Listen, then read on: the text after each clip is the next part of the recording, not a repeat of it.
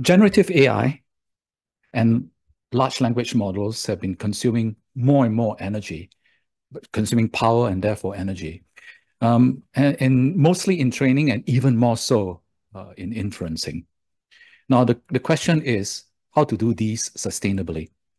Well, the key, key thing here is resource efficiency at many levels, right? Starting at the chip level, uh, one example would be where, where uh, chips today, like the GPUs, are driven at maximum power all the time. So groups are working on dynamic power where they are varying the power depending on workload need. Another example is you have GPU chips and CPU chips separate and therefore consuming power in copying data between the two. So developers are now moving the two closer and closer together, reducing energy consumption. And as such, uh, if, if, there is also one company looking at putting the two together using one piece of memory, and as a result, uh, removing that uh, power consumption of copy. Next level up is at the system level. Here on the left, you see uh, general purpose cloud applications are typically many workloads running on many nodes. Very different from large language models where you have one big workload running on many nodes. Well, big workload because it is large, the large language model. Now, because all these nodes below that one workload are working together, coming in bulk, we can do something about efficiencies there. Many examples there. Well, let's use the fan, the blower example to move air. On the left, you have many, many small fans that need to fit inside the nodes. As a result, many small fans across all these nodes. And because on the right, all these nodes come in bulk, we can use very big fans. They are at the rack level. In engineering, a big fan is much more efficient than many small fans. Now, very similar to um, how an 18-wheeler truck is much more efficient at moving a big load than, say, a convoy of 30 pickup trucks. Much more efficient. So this is where one efficiency area comes in. You can do this with not only fans, but also pumps and power supplies, all that in the design of your system. Now that's the energy part of system. There is also the water part that is used a lot. One cloud provider, public cloud provider, a major one, uses up one Olympic-sized swimming pool of water per day per uh, data center. That's a lot of water being evaporated. They, they use this in, as follows. They send the heat out of the data center, blow fans to remove the heat, not enough. They spray water at it. This is very similar to us sitting in front of fan, blowing uh, at our faces, but if we are still not cool enough, we spray water. So they use up a lot of these water spraying, right, to cool uh, the data centers. What we do at our highest end system is to run our systems with warmer inlet. And as such, we can remove the spraying of the water most of the time and just use fans, therefore conserving a lot of water at the same time.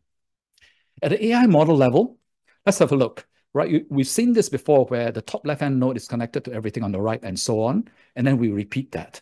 That's 1,000 connections, but keep in mind, these large language models are a million times more complex than this. They have a trillion connections, right?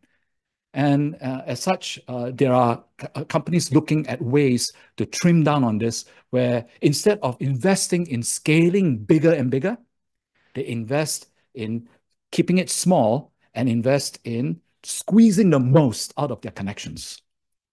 Another area of optimization of, of efficiency is that every time you send an input, all the connections fire up, and then it infers and produces the output. Same thing again. If the input changes, all the uh, connections fire up, a trillion connections fire up to produce the output. So the groups are looking at ways where they are getting smart about this, right? They put in smarts in their connections to say that uh, have a, a mixture of experts where they partition the connections up so that when you send an input in, only the needed portions of the connections are fired up to produce the output. And then the, when the next word comes in, the next needed portion is fired up to produce the output, and so on, right? Only the needed portions are fired up where necessary instead of all the connections. And, and measurement, right? In order to optimize for efficiency, you need to also measure to find out what you are using and are you improving. So this is where the HPE Sustainability, uh, Sustainability Insight Center uh, under HPE GreenLake comes in. It not only gives you a dashboard across all your data center of energy consumption, summary of uh, energy cost, as well as carbon emissions. You've heard that. Uh, you can get more details about that. And to complete uh, the whole story, right, of all the different levels of efficiencies needed to get towards sustainability for AI, um, that we've heard about uh, e-waste, right? Uh, all equipment e-waste. Now, what's more sustainable than e-waste is recycle.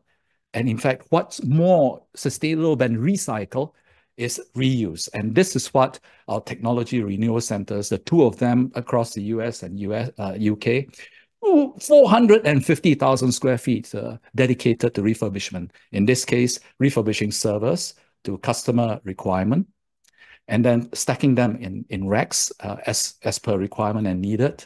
And we also deal with lots of scrub, securely scrubbing of storage devices. In fact, we scrub something like 1,000 terabytes worth of data, for, and then eventually ship them out as HPE certified pre-owned. To give you an, an, an idea of scale, right? Uh, last year, we refurbished and remarketed. We, we took in four, over 4 million pieces of IT assets and refurbished, remarketed uh, for servers, 86% of them with remaining recycled. Very little e-waste here. And then finally, uh, we've also heard that customers are asking, in fact, partners are asking, and also investors are asking, what are, is our net zero commitment? Well, we went for the and we went for the and participated in the toughest and most comprehensive standard out there, the SBTI, the Science Science-Based Target Initiative. To give you an idea how comprehensive and tough it is, out of the 8,000 co companies participating in SBTI, only 9% across the world have got their net zero year approved, and only two uh, in IT yeah, uh, for 2040 uh, net zero year. So in summary, many levels of resource efficiencies are needed, needed in order to work towards sustainable AI. This is an insight from global marketing.